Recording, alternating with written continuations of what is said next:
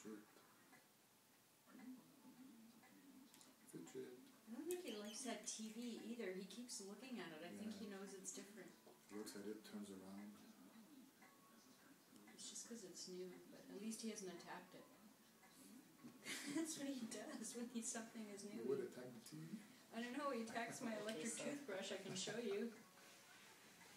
We just hold it at him, and he stands up in slow motion like this, and then all of a sudden he goes.